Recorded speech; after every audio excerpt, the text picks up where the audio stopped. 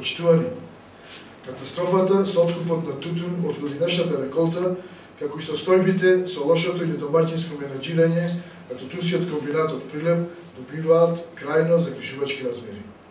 Загубите од фантастични над 70, 70 милиони евра на тутунскиот комбинат, кои партиските послушници на Груевски ги направија во изминативе 7 години, завчера го добија својот крајен епилог, но директната штета ја осеќаат кооператите.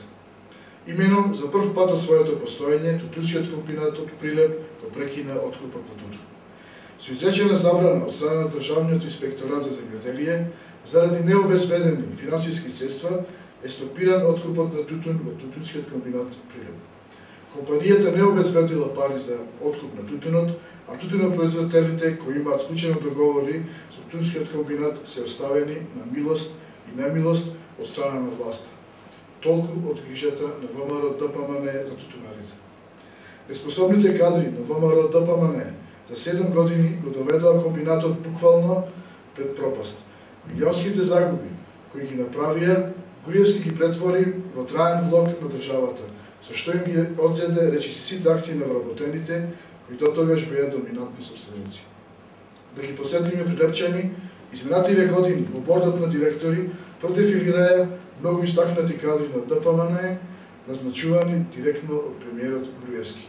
Никола Тодоров, актуелен министер за здравство, Виктор Мизо, директор на Агенцијата за развој на технолошки зони, Зоран Јолески, актуелен преговарач за спорот со името, Тони Димитриевски, поранешен директор на управа за јавни приходи, Панче Дамески, актуелен пратеник во Собранието на Република Македонија.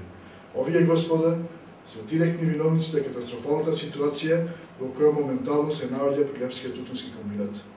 Сите заедно, начело со Груевски и министерот за земјоделие Димовски, треба да се извинат на тутунарите, а моменталното раководство на комбинатот да си, повик, да си поднесе неотповиклива оставка. Пратеникот од ВМРО ДПМН, Панче Дамески, наместо да ги правда со стојбите, во комбинато со превработеноста, треба да одговори зошто после две години, поминати во бордот на директори, не остана да ги решава проблемите, туку побегна и се вдоми во удобната претеничка фотелја.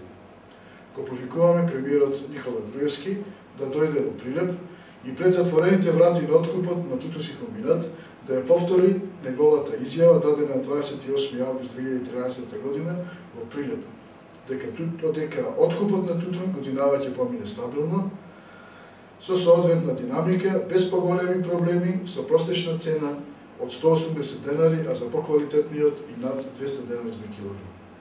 Почитуваме тутуна производители, иако сме во опозиција, ви ветуваме дека ќе направиме се да ви помогнеме. Ќе алармираме, ќе предупредиме, ќе притискаме владата на ВМРО да ДПМН за она што го заслужувате. Идната влада на Социјалдемократскиот сојуз на Македонија ќе се избори да добиете вистинска цена за својот производ и за вашиот труд. Благодарам.